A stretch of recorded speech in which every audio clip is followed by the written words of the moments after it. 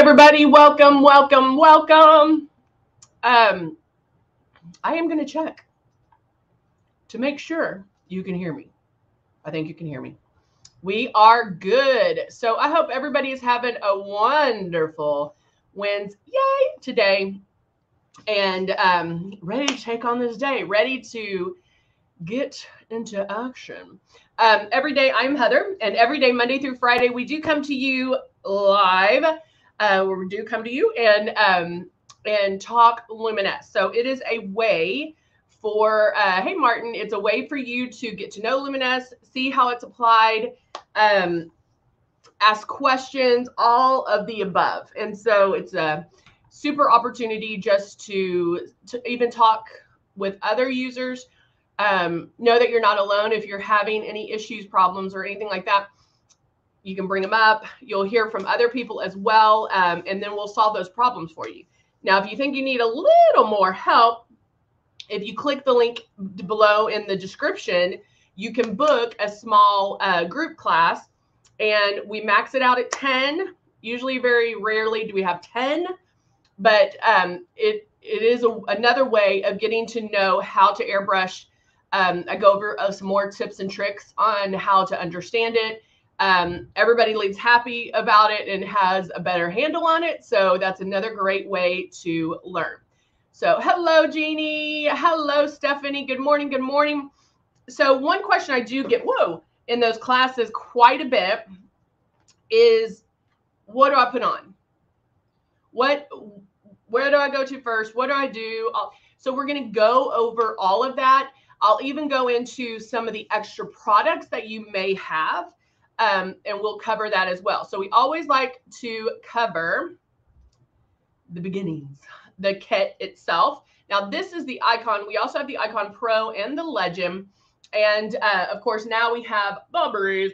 And so we will, um, excuse me, we, um, the Breeze is our newest one. It is um, chargeable, cordless. It's amazing.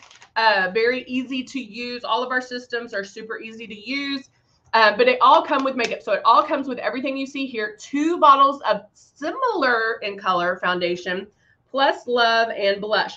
Now the love you might not use every single day. That is a highlighter or um, I don't necessarily call it a highlighter. It's more of like um gives your skin luminosity. And then the blush is something that you are going to lightly put on because our blush does bloom. It comes out. It intensifies a little bit more after you put it on. And then I feel like I have something in my tooth. Um, these are the steps that I want you to take when first starting out. So you definitely want to hold this four finger widths away from your face. Keep it moving around. Bam, bam, bam, bam, bam. And then you want to lightly pull back on this trigger. This is what releases the makeup. And this is, you want to eh, barely move it. Okay. Now, a lot of people put this on when they get it home like traditional makeup. They're excited about it. We know this is a different way of applying it, but they still apply it and push down all the way on the trigger with their hand or with the, all the way down on the trigger and it's just wet. It should never feel wet, sticky, anything like that. So make sure you are doing this correctly. Okay. Oh, okay. I was off the notifications. Um, Oh, you do. Well, Marilyn, I actually started late, so you prob that's probably right. um, can you airbrush eyeshadow and make it look like traditional eyeshadow? Most definitely you can. But are you asking me to do that? Which I can. Hola, Stephanie. How are you? Um, everything clean customer service is in me new. Yay, yay. Um, like the breeze better than the others. I don't care for the size as much. Ah, see everybody switching over to the breeze. They love the breeze. Um,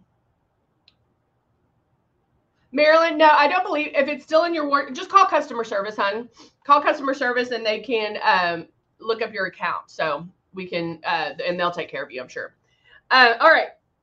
So I am going to use the breeze. I did charge my guy because it went out on me yesterday. Um, Oh, you don't get the same kind of look. Okay. Um, let me see. Let me see what I have real quick. Uh, that's the pearl. What is this one? That's bronze. Aw. Let me see what I have, and I can see about doing it. Well, this one is. I got some purples. I got some latte. Maybe we can do. Maybe I'll do a natural one with the latte and espresso. Okay, let me keep those up. All right. All right, here we go. Um, so let's talk about the order of things. All right. Um, when doing this, after you've practiced, good morning, Andrea. After you practice and after you do, um, you know, keep watch the distance, keeping it moving. You're never in one spot twice. It's also not fast. The moves are very delicate, very um, intentional just like if you were buffing some foundation on or however, um, you want to take that, um, you know, get that pattern down. It will become second nature to you. You don't even have to think about it, but it is important. Yesterday, I used Velvet Veil. Some of you have received this. Good morning, Amber. Some of you do have Velvet Veil. This is a primer. Good morning, Debbie. Um, this is a primer. It is a um, it's a like I said yesterday, it's a blur. So it's going to help blur fine lines, wrinkles, crinkles, redness. Um, you can put it all over. You can put it in spots. It doesn't matter, but a little bit goes a long way. So don't overdo it. And then you will also want to make sure that you um, apply airbrush over that. It does not work well with traditional makeup because it just gets stuck and you don't want that. Um, can you tell that I use my tanning tonic? I'm, I'm like, I keep looking at myself going, oh, I look so tan. I love it.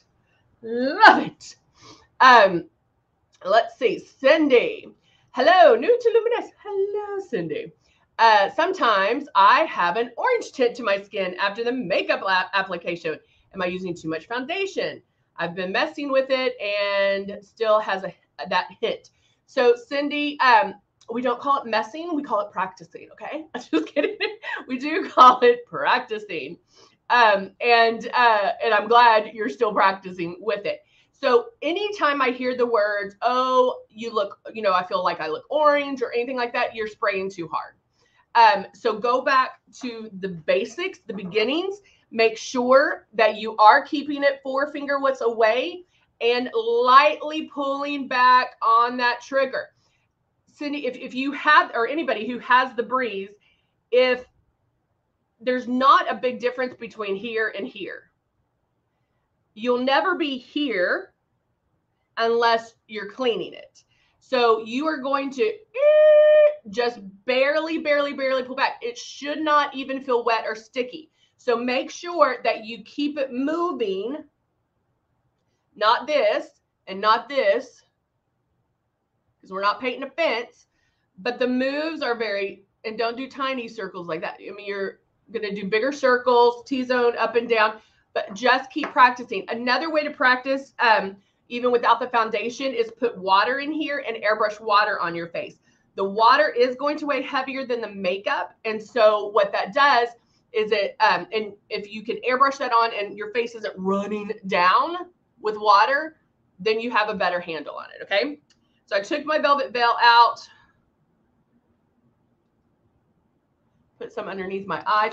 When I washed my face um, last night, I was like, oh, I love me some velvet veil.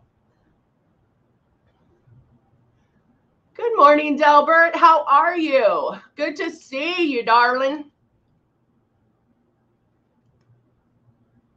Everybody saying hi to Luminess.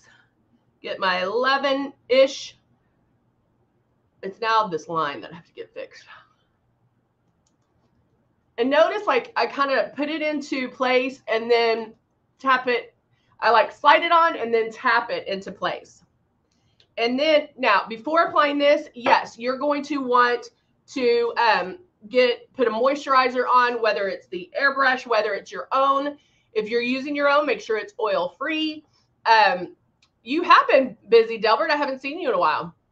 Um, but just make sure it is oil free and then you can go into either airbrushing or the velvet veil So once the velvet veil's on, your skin does feel like velvet. Uh, it feels really soft, but you can see, and if you didn't see this, I did my hands yesterday where I did one hand, and you could definitely tell the difference. It was awesome. And thank you. Two reasons, three reasons. I did my tanning tonic. Everybody looks better with a tan. And I just put on my velvet veil, which also helps blur fine lines, wrinkles, and crinkles. And because I airbrush. Airbrushing, guys, think about this. Um, because Anne, let me just tell you, no, my skin is not great. so I'm just being real.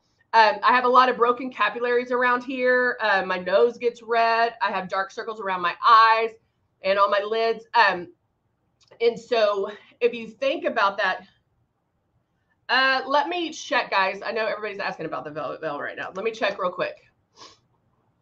Um, but guys, think about this. The fact that we are not touching our face when we apply the makeup, that is going to help you. Nope, it's in. It is laying. Uh, yeah, it's under customer. If you type in Velvet Veil, it's um, there's Velvet Veil, but then there's also Prime and Perfect, which is $55 and you get the Velvet Veil plus the final seal, the aerosol one. Um, so yeah, it shows that it's in stock. Hold on, let me add it to my bag. No. Let me see this one. Uh, prime and perfect. Hold on. Hold on, hold on. Hold on, little sister. Can I add that? It might be out of stock, babe. Okay, so I will check on that. Um, I will check on it um, and see when we can get that. Um, hello, Elena Marie. How are you? Um, I'll check on the velvet veil. All right. So, Anne's like, I guess I need velvet. Velvet veil is amazing. So when it does come in stock, I highly recommend it. Um, even wait till it goes on sale if you want to, but a little bit goes a long way. Like I said, I don't even use the dropper. I just lightly pat it on um, and go from there. Okay. So in your starter kit, you receive two bottles of foundation, love, and blush. So I'm actually going, some of you did receive some uh, pre coverage. And pre coverage is any kind of um, product I want to airbrush on before putting my foundation on. Now, couple of ways to look at this. So a lot of you maybe have eraser um, which is our lightest in coverage, and it comes just like this. When you first start out, what I recommend is getting a CC concealer. Reason being, it is the highest in coverage, and you're like, well, Heather, I don't need that much. That's okay um, because I feel like it's the easiest to use because it comes in five different shades, and you can get one closer to your face your face shade. Okay. So that way, when still learning to apply it, you can apply it and you don't have to worry about it coming out too white or anything like that. I'm actually going to use, um, oh, I don't know if I have it. I'll use eraser just to show you. I was going to use glow because I love glow, but I can kind of use eraser the same way.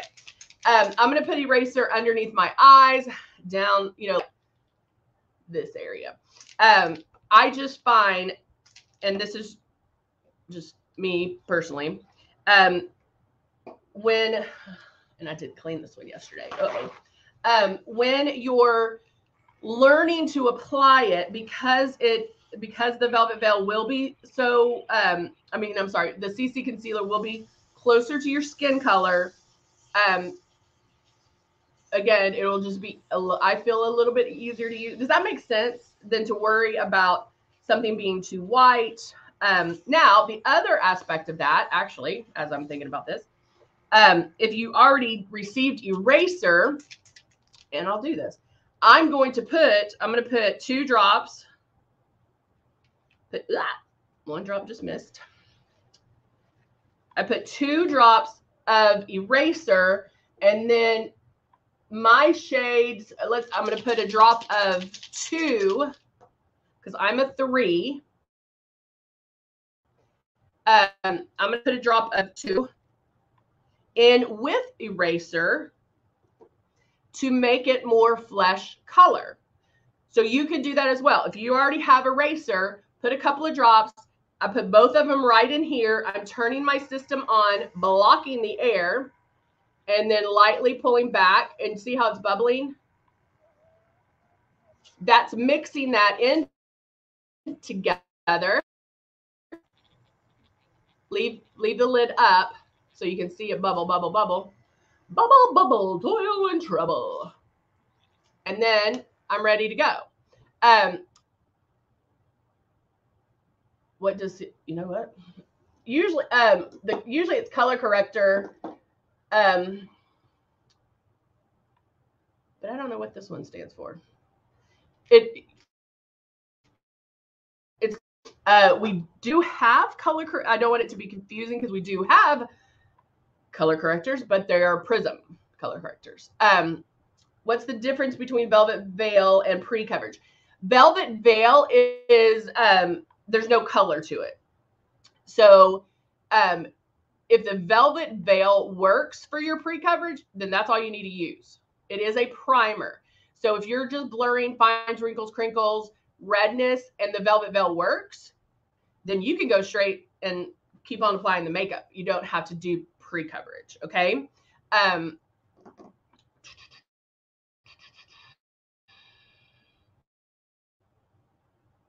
make sure I answered all the questions. All right, so now I have my pre-coverage, which is eraser and a couple of drops of a foundation. I'm going to start underneath my eyes, lightly spray.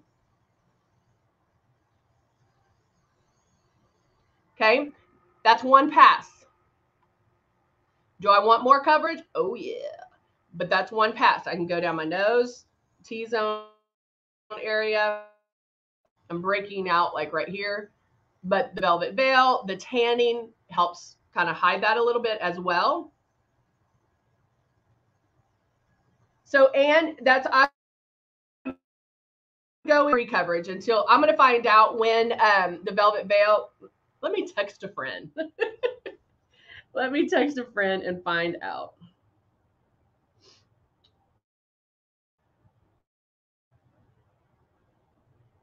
Velvet veil. Let me do it this way. Velvet veil coming in stock. Okay, we'll find out. Now I'm going to finish my coverage, but you can already, because I was so tan, you can already see that this is starting to lighten up, starting to soften.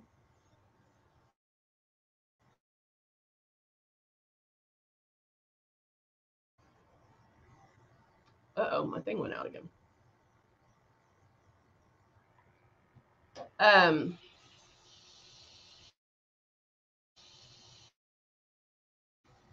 she said it is in stock. Um,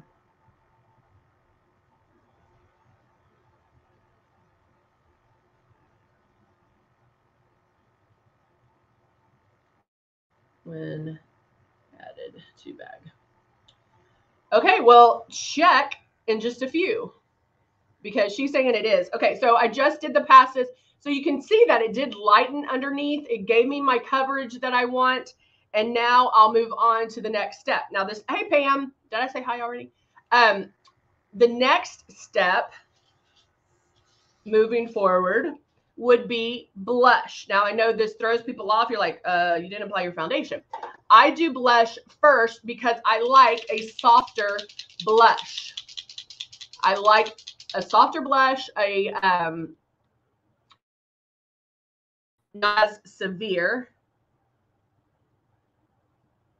Let me pop this off. And I'm using Plum because Plum is one of our darker shades, but not it's a deeper shade, I guess, not really a darker shade. And um, it, but anybody can still wear that. Now I'm going to apply that to my cheek area.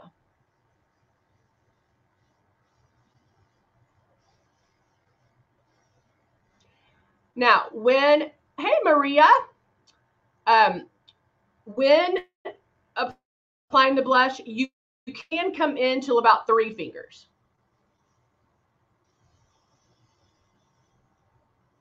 And just remember that practicing using the air is going to help you, okay? Because that is going to help you know where the makeup's going. Wherever you feel the air is where the makeup goes. And I kind of like to do a little color around.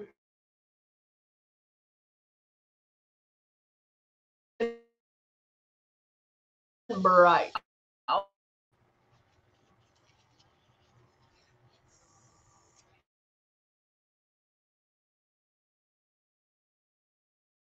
I can go in with my foundation, which I'm going in. Uh, why is, hold on, I'm gonna take my feet off the counter. Maybe I'm shaking it and it's moving. So now I'm applying maybe just five drops of foundation, starting in one spot. I'll start making my passes.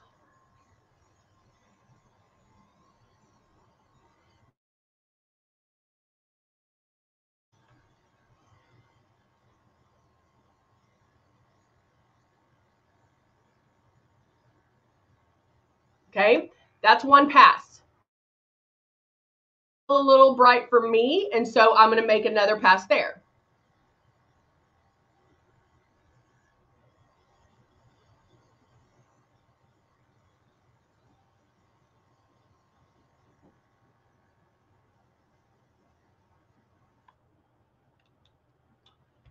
And there we go. Okay. Soft it softened it. So what happens is the blush or the foundation airbrush goes on like little dots, boop, boop, boop, little pixels all over the face.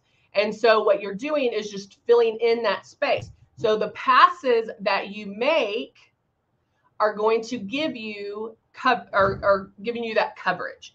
And so it's not like traditional makeup where you're layering it, layering it, layering it, layering it, layering it. It's not like that. You are going um, um, you're just filling in the space. That's why it does work with your skin. Now, you can finish that by putting, you can use a, um, the airbrush blonde, airbrush bronzer, or I'm going to use the Cut One palette and I brush through all of them.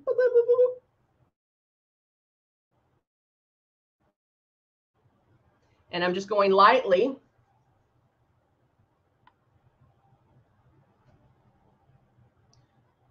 underneath that blush and then blending out my neck and then a little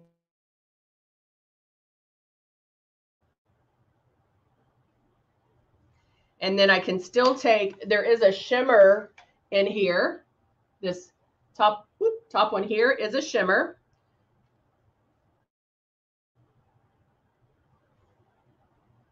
And I can lightly put that on just to give it a little more oomph if I wanted to. Or obviously you can do love in those same areas that I put on. Now love, I would do, um, Andrew said, I thought primer was pre-coverage. Primer is your primer. Primer is, is get to the you know, have the makeup stay on longer. It doesn't give you any coverage. It's not going to give you any coverage. And so, um, so it's, it's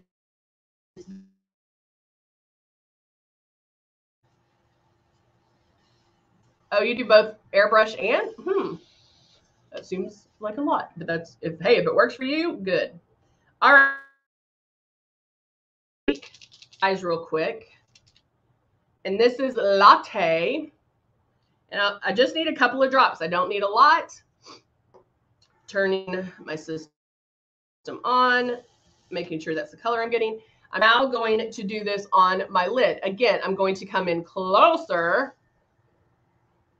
Um, I'm going to come in closer precise it is, okay? But I'm still making those movements. And actually, the application and how you're moving this is exactly how you would if you were using a brush, okay? Um, let me get up, close here so I can see.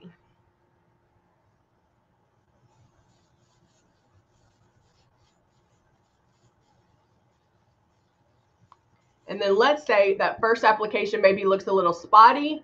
The first time you try it, you can just tap it and you're good to go. It'll tap it right into place. And then if you need to make another pass, you can.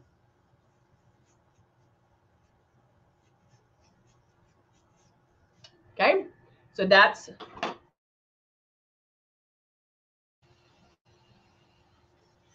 get that out. I'm gonna do this real quick.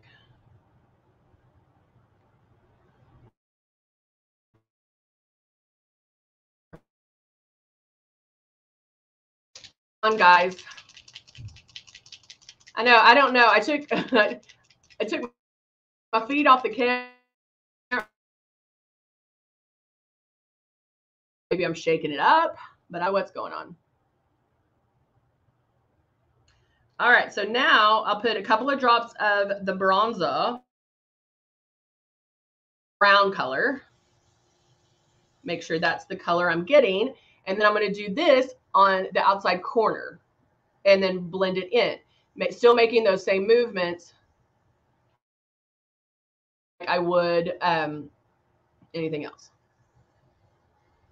or with traditional.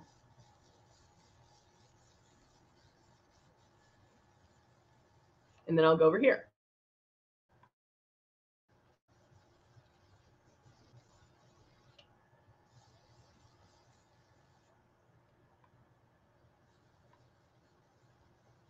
Notice how I just keep going back and forth. This is blending. Now I'm taking my hand off the trigger. I'm using the air just to dry it a little bit because I'm only focused on this area right here. So it is going to, um, it, it will be a little bit wet, even though you're spraying super, super light.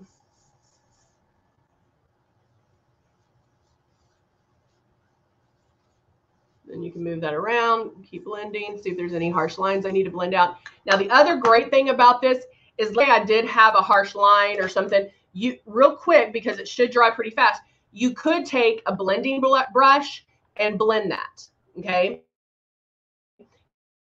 If blending with the airbrush yet, you can do that with a brush if you need to in the beginning, like very quickly, all right? Now, Again, I'm good with this mascara, done. But if I want to take it up a notch, I can add a little bit of black. I'm like looking to see if the if it's a bad um, connection. I don't know why it's why because I it, I saw that yesterday too, and I was like, Urgh. okay. So now I did black, and I'm just gonna go boop right there.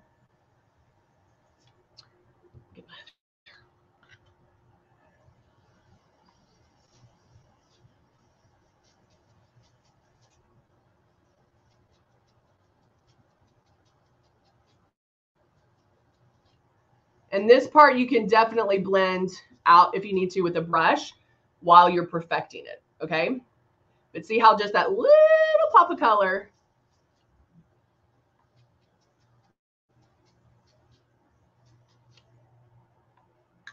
just steps it up a little bit more, just a little bit more. And then add mascara and you're done. You're done. You're done. You're done. You're done. Um, I can go in. Let's add Ballet Pink.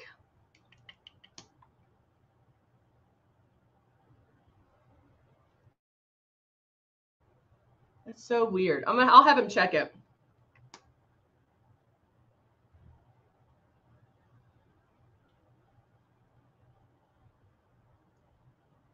I don't know.